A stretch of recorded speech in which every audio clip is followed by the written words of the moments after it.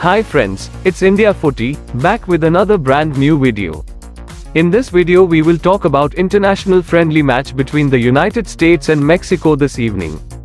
The Allstate Continental Clasico match at the University of Phoenix Stadium in Arizona will kick off at 10 p.m. Eastern Time.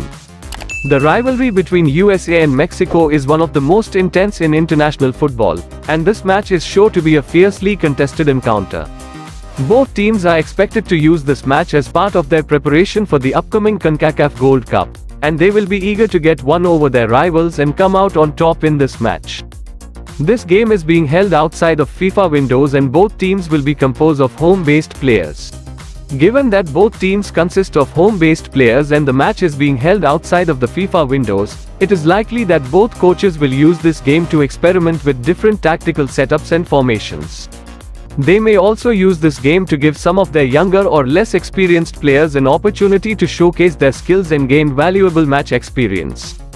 USA has traditionally favored a possession-based style of play, with an emphasis on building from the back and playing through the midfield.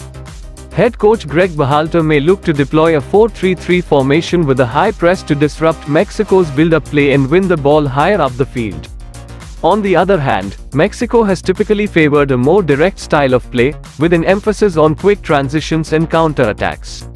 Head coach Diego Cocca may opt for a 4-2-3-1 formation with a double pivot in midfield to provide defensive stability and allow for quick transitions to attack.